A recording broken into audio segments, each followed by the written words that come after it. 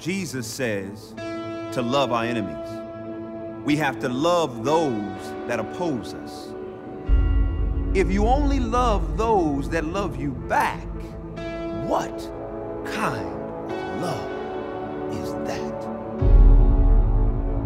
There's something special about you. I can see it.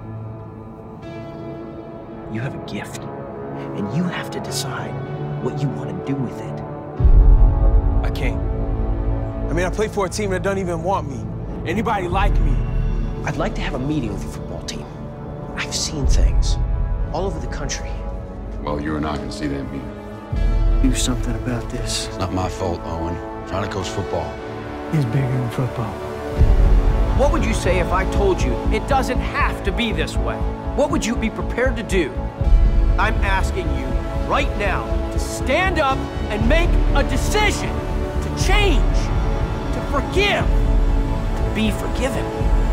That's how much God loves you. What just happened? Look at me.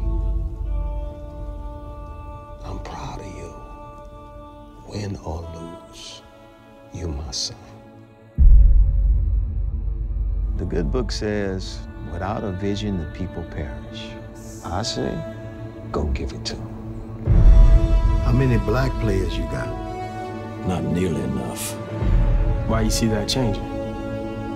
Because it's time. You know the difference between you and these people? They're cowards. And you ain't. Nobody out there knows what's happened with this team. But when you win on this day, they will! They call him Touchdown Tony Nathan. He's homegrown, right in Birmingham. This is your moment. This is your time. So you go and take it. You go and take it.